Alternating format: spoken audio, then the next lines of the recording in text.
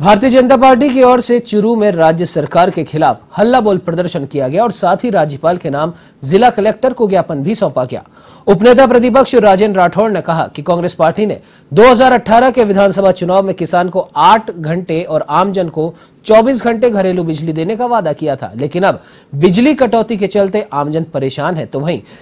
किसानों की कर्ज माफ़ी और कानून व्यवस्था को लेकर भी राज्य सरकार पर निशाना साधा।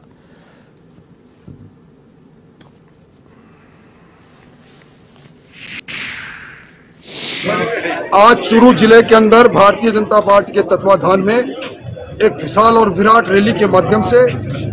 सरकार जनता सरकार के प्रति जनता ने अपना आक्रोश व्यक्त किया है। हमने अभी जिला प्रशासन के माध्यम से सरकार के पास ज्ञापन भेजा है और हमारे ज्ञापन के अनुसार जो हमारे ज़िले से संबंधित मांगे हैं, जो आम आदमी की मांगे हैं,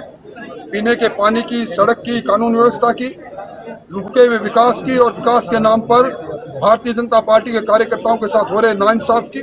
इन सारी बातों को लेकर हमने सेवा प्रशासन को सावचेत किया है। हम अगला हमारा पड़ाव होगा यहाँ अनिश्चितकालीन हम धरना देंगे, लंबा पड़ाव डालेंगे, और आज की संख्या से तीन गुना ज़्यादा लोगों को यहाँ बुलाएँगे, राशन लेकर आएँगे, और जब तक प्रशासन हमारी बातों को नहीं मानेगा, तब तक यहाँ से हिलेंगे